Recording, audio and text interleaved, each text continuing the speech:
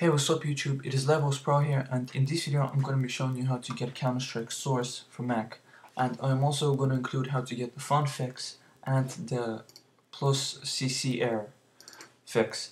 So let's just go to my Counter-Strike Source and as you can see here, the perfect game, don't worry about that, I'm going to change mine later. And um, all you have to do is download all of these 12 parts which will be in the description.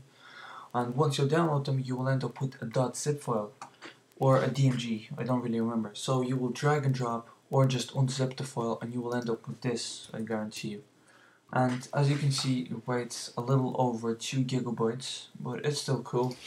Uh, it's really worth it. And please read the readme file. Uh, I entered the game, I fixed some uh, things that really annoy you and some and some uh, maps fixes and uh, etc. And uh, here's the main part. Counter-Strike source fix and font fix by LevosPro. That's me. And um, it really, it says it all here. Just follow the instructions and I guarantee you my instructions will work. And uh, I actually uh, prepared you with the master server, which some people couldn't download. Don't know why. But um, just follow the info and you'll uh, have the font fix and the RCC plus um, fix in just about 10 minutes except the downloading part.